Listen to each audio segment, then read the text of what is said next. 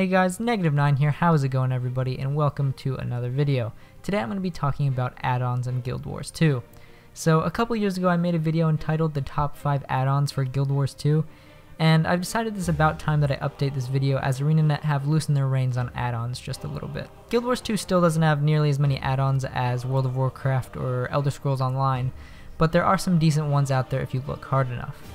As of June 2017, all of these mods are completely legal and safe to use, but as usual, if you're watching this in the far off future, it's probably a good idea to double check. If you're someone like me who's been playing since launch, it's better safe than sorry. So let me talk to you about a couple of my favorite Guild Wars 2 add-ons.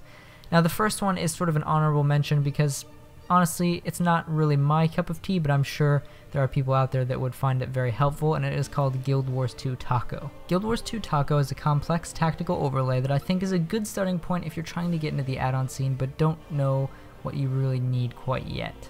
Like I said, it's a complex tactical overlay, and it takes the word complex very seriously, as there's a little bit of everything in this add-on. Guild Wars 2 Taco features a marker system in which you can create and place custom highlighted markers, camp flipping timers in World vs. World, a map timer for meta events and other world bosses, location-based timer for the zone you're currently in, TeamSpeak 3 integration, a tactical compass, range markers, a mouse highlighter, daily progression tracker, and custom notes. So that's a lot of things. Also, with this add-on, you can download visual guides to jumping puzzles, bosses, and about anything else you can think of. And of course, there are plans to add many more features in the future.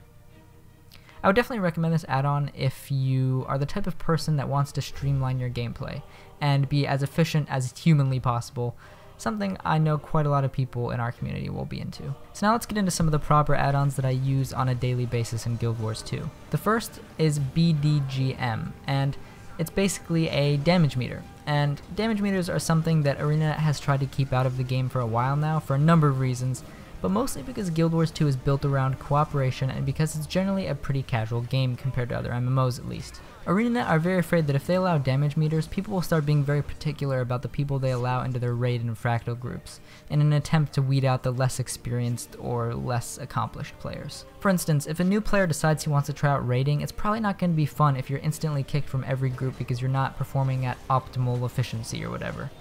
I understand the concern from ArenaNet, but personally I think it's a bit silly, and people who want to be jerks to new players will probably find other ways to be jerks anyways. So BDGM is mostly used as a personal DPS meter, so you can see how much damage you're doing and so you can be the judge of how well you're playing. For more experienced and serious players, this is really helpful and it's something that the community has been asking for for a long time. So if you'd like to be able to see exactly how much damage you're doing to your opponents, this is definitely the mod for you. And now my other favorite add-on for Guild Wars 2 is GemFX slash SweetFX slash Reshade. So, this is my all-time favorite add-on in Guild Wars 2. Um, so these add-ons you can use together or individually, but essentially all three of these programs make your game look a heck of a lot better. Guild Wars 2 is 5 years old now, and parts of the game look a little bit bland and slightly outdated. So these post-processing tools allow you to alter and customize almost every visual aspect of your game that you can imagine, Things like saturation, sharpness, lighting effects, bloom, curves, levels, all that good stuff is now customizable. I do know that with SweetFX you can download user presets, so if you don't want to mess around with all these settings yourself, um, that is certainly an option. So I use this add-on literally constantly, and you can see my custom reshade setup in almost any one of my Guild Wars 2 videos. That's why they may look slightly different than anyone else's. This is definitely my number one add-on for Guild Wars 2 and I highly recommend it to everyone. It really adds a whole new level of visual depth and it just makes the game really refreshing to look at and that's always a good thing. So all of the links to these add-ons will be in the description below if you want to try your hand at any one of these add-ons and see what they're like for yourself.